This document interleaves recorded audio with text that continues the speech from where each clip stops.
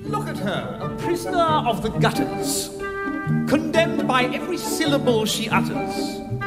By right, she should be taken out and hung for the cold blooded murder of the English tongue.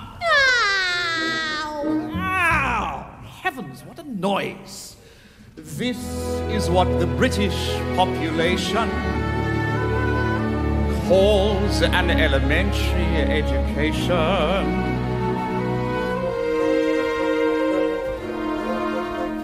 Hear them down in Soho Square, dropping H's everywhere, speaking English any way they like.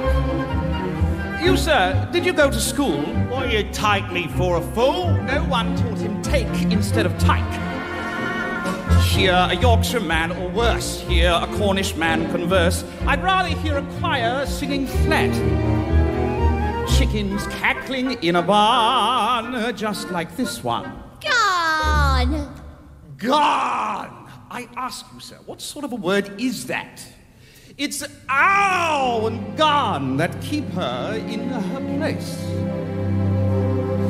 Not her wretched clothes and dirty face.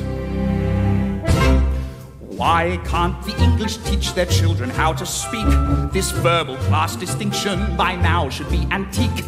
If you spoke as she does, sir, instead of the way you do, why, you might be selling flowers too. An Englishman's way of speaking absolutely classifies him. The moment he talks, he makes some other Englishman despise him. One common language, I'm afraid, we'll never get. Oh, why can't the English learn set a good example to people whose English is painful to your ears? The Scots and the Irish leave you close to tears. There even are places where English completely disappears. In America, they haven't used it for years. Why can't the English teach their children how to speak? Norwegians learn Norwegian, the Greeks are taught their Greek. In France, every Frenchman knows his language from A to Z. Well, the French never care what they do, actually, as long as they pronounce it properly.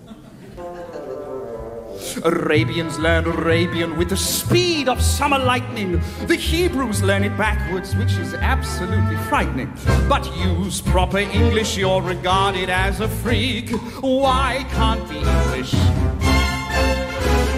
Why can't the English learn